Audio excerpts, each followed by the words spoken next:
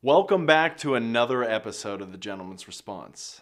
Due to the overwhelming success of the first episode,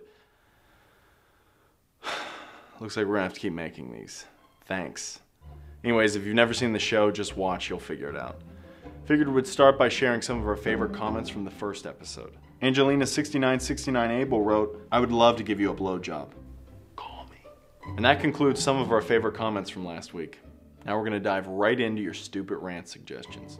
Italian dude 000 suggests gentleman's rant on me, you fing asshole, prick, Jewish, stinky, queef, burping piece of shit. And the black man on the show looks like Morgan Freeman, bitch. Who knew the Italian guy was a loud, flashy, racist asshole? You probably drive a red convertible too, huh? You overcompensating small dick motherfucker. Adam Zop Zop suggests the science fair any grade. Even the sixth grade science fair is fixed. F you, Mr. Thompson. Gentleman's rant, my nuts in your mouth. Couldn't very well speak with your nuts in my mouth now, could I? Gentleman's rant. Pricks in front of a white background who are not funny. Yeah, f those assholes. Gentleman's rant beach. You want us to rant about a place that's warm, majestic, and littered with women in revealing swimwear that accent their perfect round titties and tight little asses? No, we're never gonna do that. There's no beach in the world that sucks, except for Long Beach. Gentleman's rant midlife crisis. You're gonna have one, and it's gonna be expensive, and the 26 year old doesn't work out. The Gentleman's Rant Sopa and Pipa. It starts with the movie and music industry, then they come for your porn. Your free porn.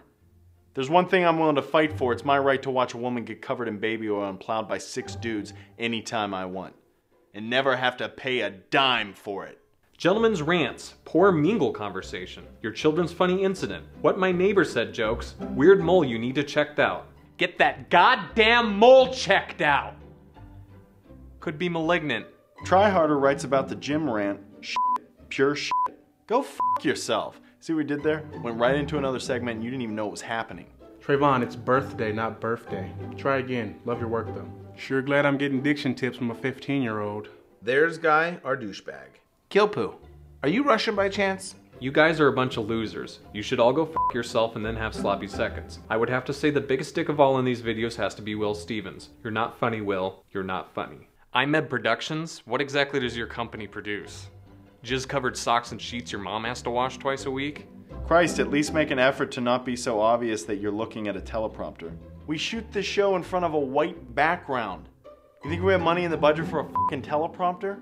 You sucks white trash and a Negro mod f. Alex, I'm betting you're Russian.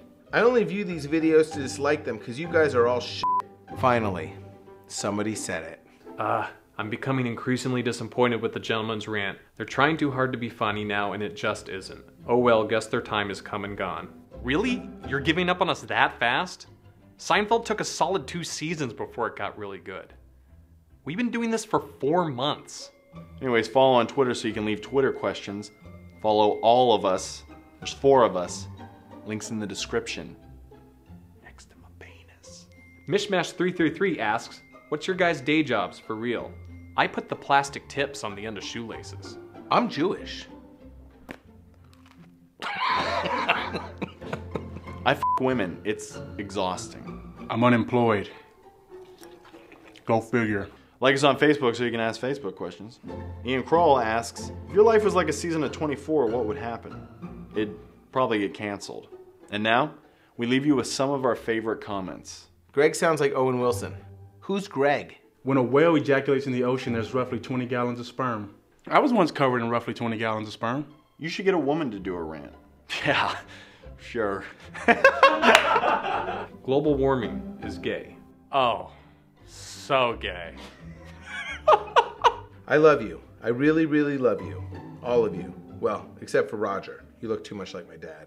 Ashley Renee, you're grounded. I just shoved my huge utility pole into my girlfriend's junction box. Describe it in more detail, slowly. Was there a power outage? Was the electric company called? Was there a blackout? well, this is the end of the show, guys. See you later. Remember, there's no prizes on this show. We don't have any extra money in the budget. Blew it all on the teleprompter. Anyways, remember to like, favorite, and blah blah blah this video. And now we're going to cut to a screen with links to other videos that we've done, all playing to the same pleasant music in the background.